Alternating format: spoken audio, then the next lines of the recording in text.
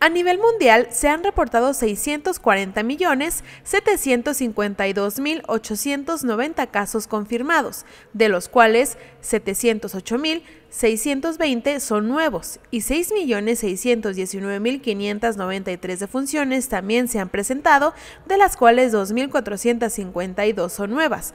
Esto según informó la Secretaría de Salud Federal a través de su último informe técnico semanal.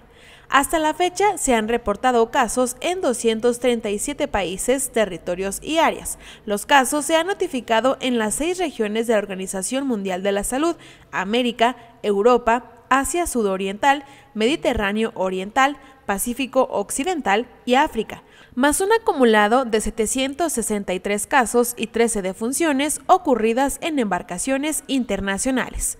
En México, hasta el día de hoy, se han confirmado 7.145.409 casos totales y 330.592 defunciones por COVID-19.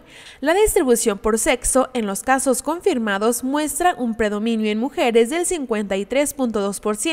La mediana de edad en general es de 38 años. Las primeras 10 entidades que acumulan el mayor número de casos son Ciudad de México, Estado de México, Nuevo León, Guanajuato, Jalisco, San Luis Potosí, Veracruz, Tabasco, Puebla y Sonora, que en conjunto conforman el 64% de todos los casos acumulados registrados en el país mientras que Zacatecas se mantiene como el séptimo estado con el menor número de casos positivos acumulados del virus SARS-CoV-2.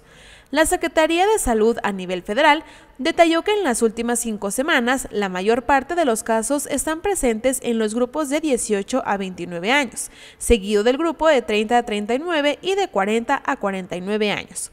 Al corte de información del día de hoy, se tienen registrados 13.722 casos activos con una tasa de incidencia de 10.5 por 100.000 habitantes. La tasa de activos por cada 100.000 habitantes por entidad federativa posiciona en los primeros 10 lugares a Quintana Roo, Yucatán, Ciudad de México, Sonora, Chihuahua, Campeche, Baja California, Tabasco, Baja California Sur y Colima. Por su parte, la entidad zacatecana tiene 62 casos activos de COVID-19.